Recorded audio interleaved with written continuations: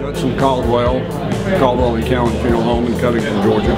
It seems that uh, the meetings that I attend, that uh, working with Google and other uh, digital media is becoming increasingly important.